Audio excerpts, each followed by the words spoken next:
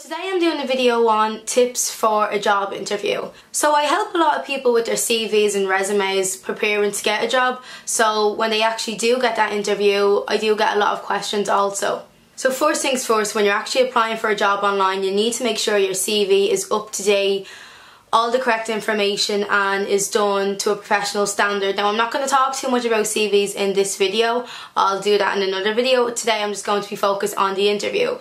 So you get that golden call and you have an interview. You're excited, you're proud, you're feeling accomplished and it's like, oh my god, a big huge wave of anxiety and nerves kick in because in order to actually get that job, you have to do a good interview. So being someone that probably has around 80% interview success, so by that I mean would get offered a job eight times out of 10. So I've worked in Ireland, I've worked in Canada, I've worked abroad, I've, you know, went for interviews for internships, for jobs, for college, for different things so I am, you know, aware of what to expect and how to prepare myself.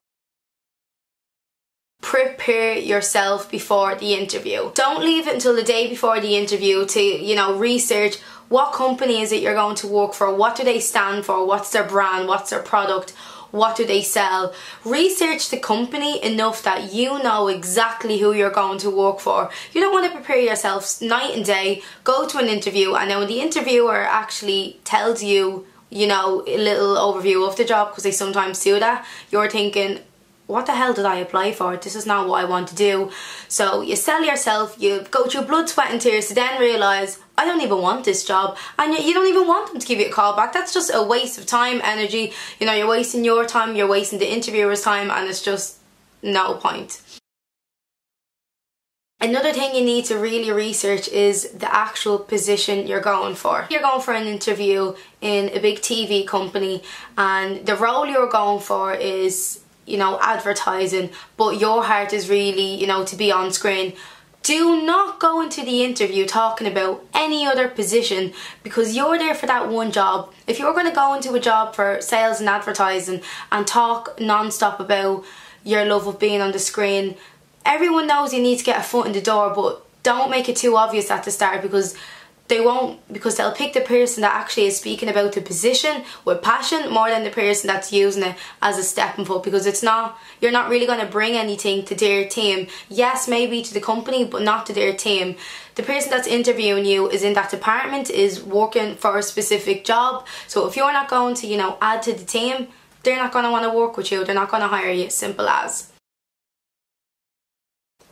so when it comes to researching a company, you don't need to know all the, the hard stuff, the statistics, you know, when it was founded, all of the kind of local moco stuff because the person that's interviewing you has worked there for a long time. They're most likely, you know, up high in HR, in recruitment, so they know the company 10 times more than you do. So if you go in, you know, trying to quote statistics and years, if you even get one of them wrong, you're blown it. So you're better off keeping it safe there's no harm in mentioning, you know, their mission statement, what they stand for, achievements that they've accomplished, little things that shows you have an interest without being too know-it-all. Because if you're going to be a know-it-all, you need to know it all. You can't know half of it because it's going to be very, very obvious. So just save yourself the ag, save the interview with the cringe and just know your stuff. Prepare yourself question-wise. So when you know a little bit about when you know a lot about the company and the position then that's fine those will cover those questions when you're in an interview they're not looking to know everything about the company because they already know that. They want to know about you. They want to know what you can bring to the table, who you are as a person and as a worker. So this is your time to shine. You have to sell yourself. And a lot of the time people absolutely freak out with the question, tell me a little bit about yourself. Really?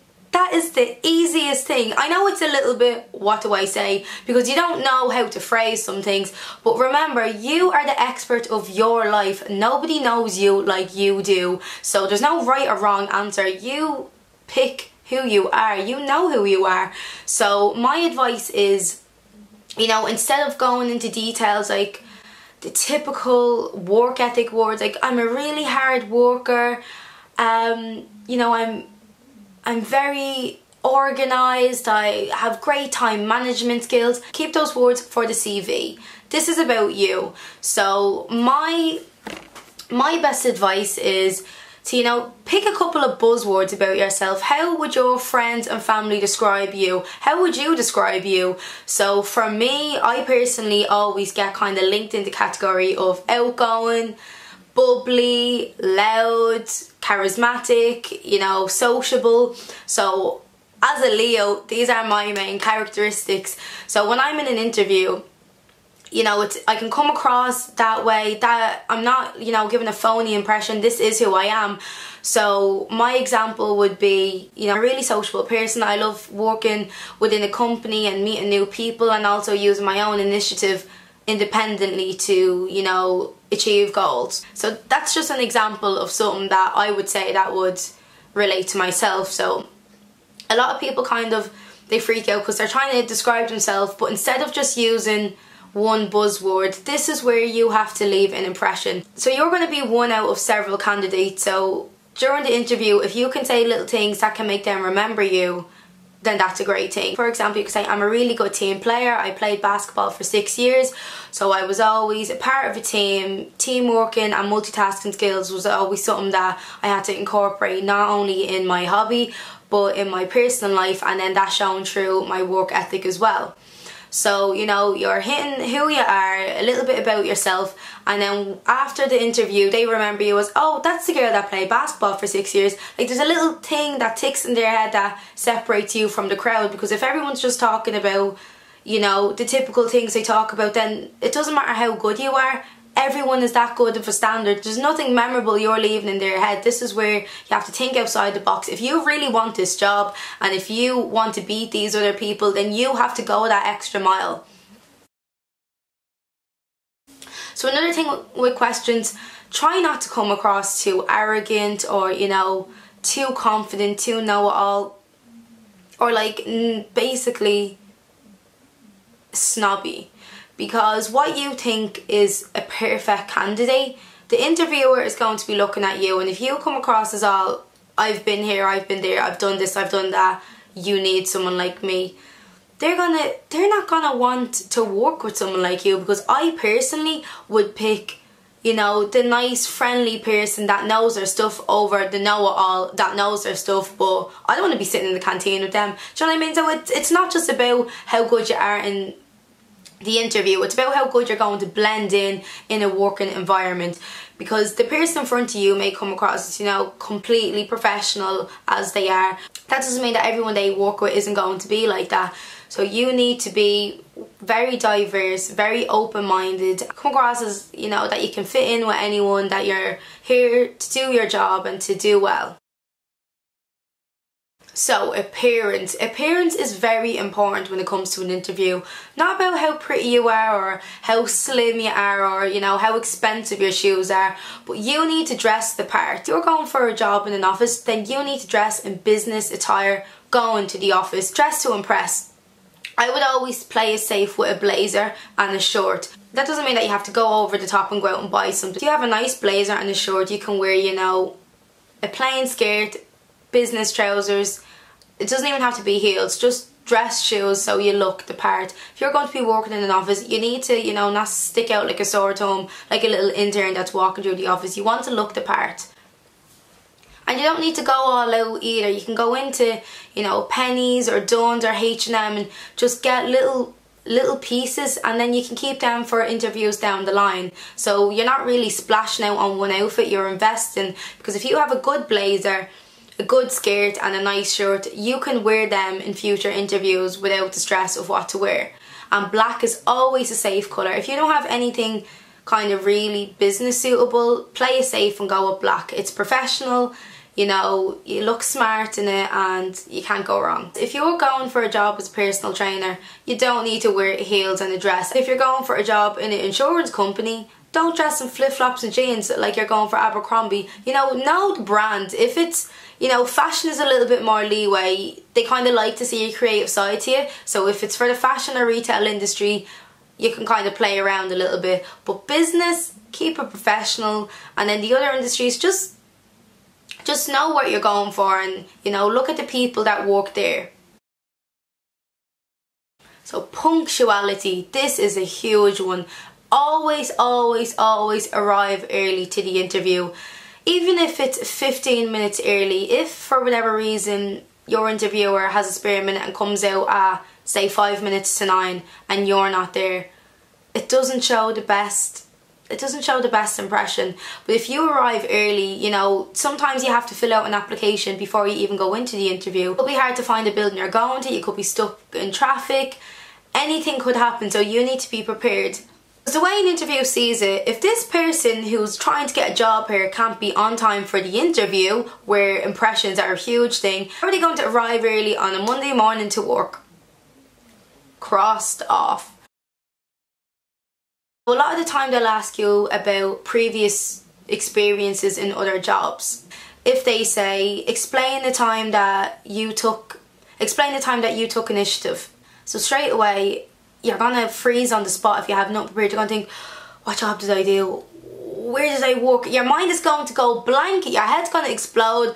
And before you know it, you screw it up and, you know, chances blown. The best thing to do is think of each job you have on your CV you know, you're not going to know the questions they're going to ask you. You don't know what area they're going to focus on. But you think of each job that you worked and think of kind of little things around it. For example, when I worked in a restaurant, I was always multitasking. It was a fast-paced environment, customer-facing. So, you know, you always have to be friendly and willing to help. You have to be a really good team player in order to help other other waitresses on the floor. And you know, it's a very physically demanding job. There's not a lot of breaks. You don't get to sit down you're constantly on your feet. And you just need to kind of take that, take those and use it in a question.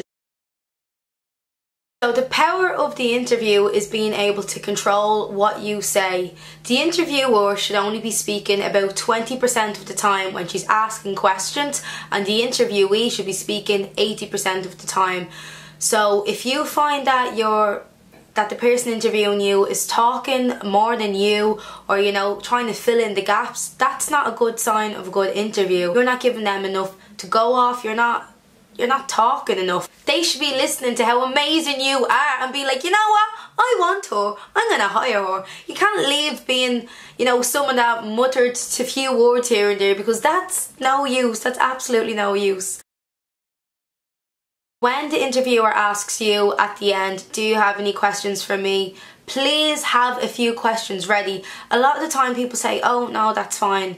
And when they say ask questions, do not ask about salary, don't ask about benefits, don't ask about time off, don't mention holidays books, booked because it's not the best taste to leave in your interviewer's mouth before you walk out that door. A couple of questions that's good to ask is what would you what would you look for in your ideal candidate? So this gives them a chance to, you know, talk a little bit about what they are looking for. If you feel like you tick some of them boxes, then you can leave the interview feeling more confident. Another really good one I like to ask is what's your favourite thing about working for this company? Because straight away they let their guard down, they're speaking a little bit more for personal experience.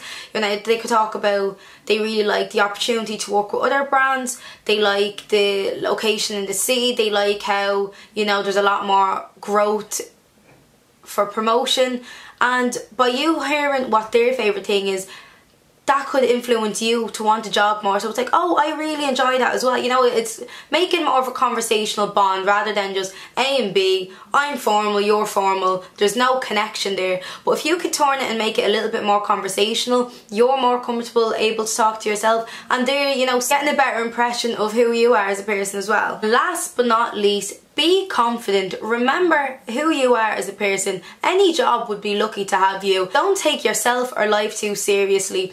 I love the quote, you know, what's meant for you won't pass you by. If you are meant to get this job and you're doing everything you can, if you're meant to get that, you will. If not, don't let it get you down. There's plenty of other jobs out there. Just keep going take it as a learning experience. You've never been to that many interviews. It's really good to have the experience of going to them, to know what to expect, to know, you know, what makes you nervous, what you need to prepare for. And it really can get you that extra step closer to getting your dream job. So chin up, do well, and remember, they would be lucky to have you. Thanks very much for watching the video. I'll leave a link below to I'll leave a link below to my blog post about how to do a good CV and a resume and I'm also going to do one, you know, about the tips of the interview. If you have any questions at all, feel free to message me. Thank you. Happy job hunting.